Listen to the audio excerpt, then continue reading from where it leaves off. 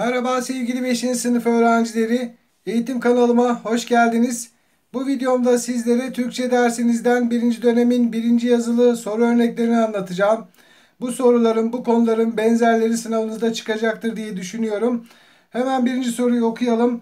Aşağıdaki cümleleri değerlendirerek amaç sonuç veya koşul sonuç veya sebep sonuç olarak belirtin. A. Yazılıya çalışmak için kütüphaneye gittik. Kütüphaneye gittik kısmı sonuç bölümü. Ama sebep sonuç mu yoksa amaç sonuç mu? Bunu şöyle ayırt edeceğiz. Yazılıya çalışmak amacıyla kütüphaneye gittik. Bakın cümle uygun oldu. Eğer uygun olduysa bu cümle amaç sonuç cümlesidir sevgili öğrenciler. Devam edelim. Yüksek sesle müzik dinleyince kulakları ağrıdı. Bakın yüksek sesle müzik dinleyince amacıyla kulakları ağrıdı. Cümle bozuldu. Demek ki bu amaç sonuç cümlesi değil. Kulakları ağrımış. Bunun sebebi anlatılmış. O zaman bu sebep sonuç cümlesi. Yani sebep sonuç cümlesiyle amaç sonuç cümlesini ayırt etmenin yöntemi bu.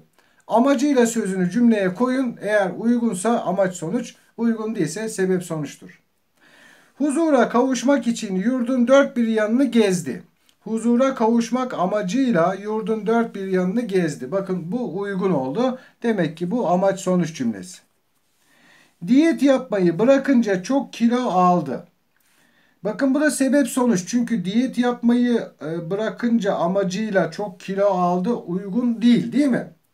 Çok kilo almış. Bunun sebebi diyet yapmayı bırakmış. O yüzden bu sebep sonuç cümlesi.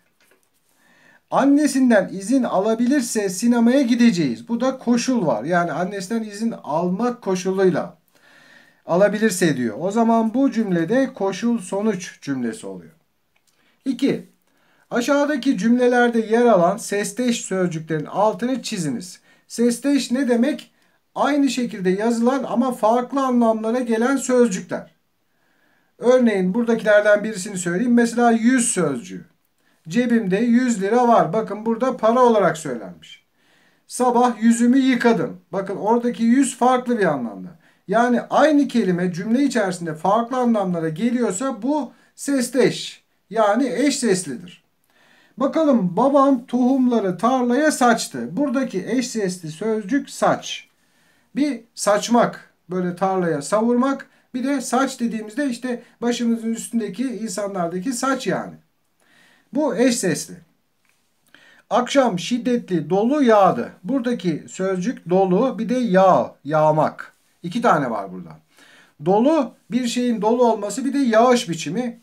Yağ sözcüğü işte bir şeyin e, yağış biçimi yani yağmur yağması, işte kar yağması, dolu yağması gibi. Bir de yağ dediğimiz yemeklere koyduğumuz bir e, sıvı var değil mi?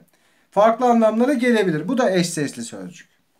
Annem çok güzel çay demler. Burada çay sözcüğü içecek olarak bir çay var. Bir de akarsu olarak çay var. Çayda balık tuttuk mesela. Bahçede iki at otluyor at sözcüğü. Bir de bir hayvan olarak söylenmiş. Başka bir cümlede işte taşı attı mesela. Taşı uzağa at. Atmak yani. Devam edelim. Senelik kazancım bin lira. Burada da bin sözcüğü sayı olarak söylenmiş. Bir de işte ata bin mesela bir şeyin üstüne binmek. E, farklı anlamlarında söylüyorum arada. Cebimde 100 lira var. Bunu az önce söylemiştik zaten. Bu şekilde sesleş sözcükleri çizmiş olduk.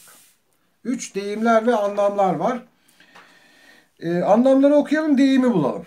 Kolayca tuzağa düşmek, dikkatsiz davranmak. Bu yaş tahtaya basmak. A buraya olacak. Aldatılmak, hile ile kötü bir duruma düşürülmek. Oyuna gelmek. B burası olacak. Değer kaybetmek, önemsiz bir duruma gelmek. O da gözden düşmek. C. Yenilip teslim olmak. O da diz çökmek. D harfini buraya koyalım. Bir işe başlamaya hazırlanmak. E, neredeydi? Kolları sıvamak. E harfi.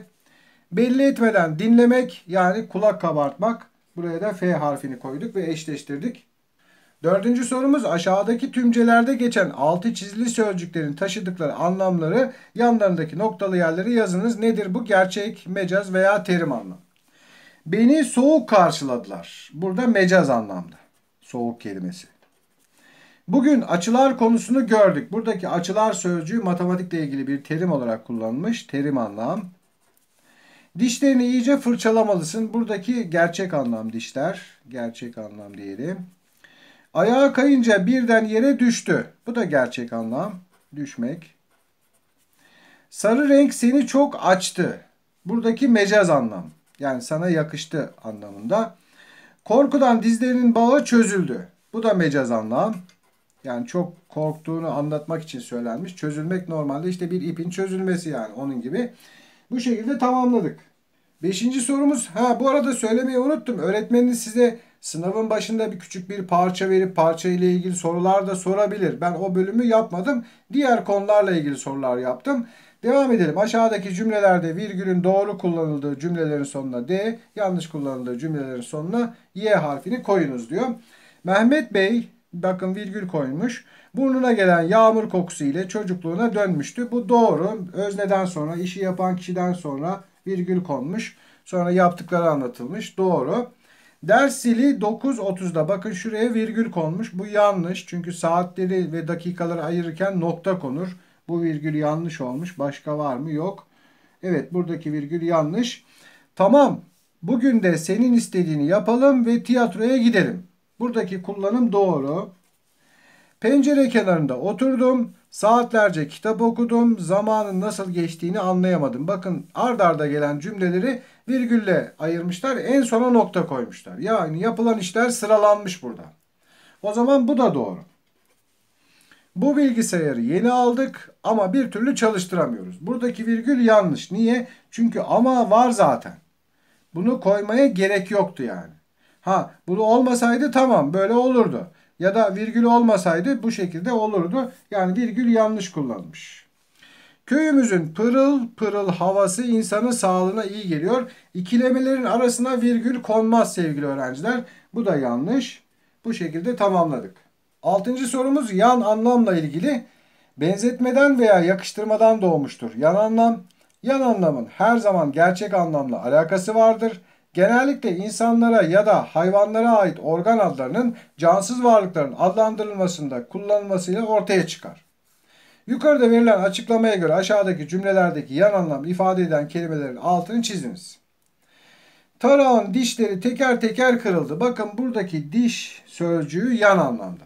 Şimdi başka bir örnek vermek istiyorum. Yan anlamla ilgili mesela masanın ayağı. Masanın ayağını düşünün cansız bir varlık. Onu e, dik tutan dört tane işte bölüm yani değil mi? Peki ayak nerede kullanılıyor? Canlı varlıklarda. Yani insanların ayakları işte ayakta tutuyor mesela. Hayvanların ayakları. Ee, yani insanların canlı varlıkların ayakları cansız bir varlığa benzetiliyor örneğin. Burada da dişler bakın tarağın o e, taradığımız bölümleri teker teker kırıldı diyor. Bu yan anlam. Ayakkabının burnu sökülmüş. Yani ayakkabının ön kısmı burnu. Hani insanlarda da burun öndedir değil mi? Yani ön kısım e, sökülmüş. Bunu anlatıyor. Yan anlamda kullanılmış. Anahtarı lütfen dolabın gözüne bırak. Bakın buradaki göz sözcüğü yan anlamda. Bu masanın ayağını kim boyadı? İşte az önce söylediğim ayak. Masanın ayağı. Şehrin göbeğinde kapkaç yapılmış. Şehrin göbeği bakın şurası yan anlam. Yani şehrin orta yeri. Hani göbek nerededir? Orta yerdedir değil mi? Vücudumuzun ortasındadır. Kapının kolu bir anda elimde kaldı. Kol. Kapının kolu. İşte bu da yan anlamda. Böylece yan anlam ifade eden kelimeleri bulmuş olduk. Yedinci soruya bakalım. Bu kez de terim anlam var. Terim anlam bilim, sanat, meslek ve spor alanlarındaki bazı kavramları belirten sözcüklerdir diyor. Aşağıda altı çizili olan terim anlamlı sözcüklerin hangi alana ait olduğunu yazınız. Bakalım perde kapanınca seyirciler alkışladı. Bakın burada e, tiyatro ile ilgili veya sinema ile ilgili olabilir. Yani gösteri sanatları ile ilgili biz tiyatro yazalım.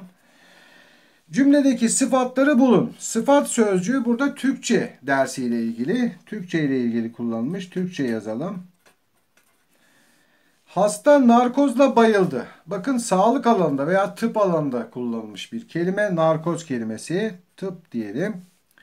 Boylamlar arası saat farkı 4 dakikadır. Boylam sözcüğü coğrafya ile ilgili bir terim. Sosyal bilgilerle ilgili bir terim olmuş. Coğrafya diyelim veya sosyal bilgiler de diyebilirsiniz. Hakem penaltı vermedi. Burada da sporla ilgili bir terim yani futbolla ilgili kullanılmış. Futbol diyelim. Notalara çok çalışmalı. Buradaki kelime de müzikle ilgili alanda kullanılmış. Terim anlam olmuş. Böylece son soruyu da yapmış olduk. Umarım sizlere faydalı bir ders olmuştur. Her zaman olduğu gibi iyi çalışmalar, derslerinizde başarılar diliyorum. Başka derslerde görüşmek ümidiyle. Hoşçakalın.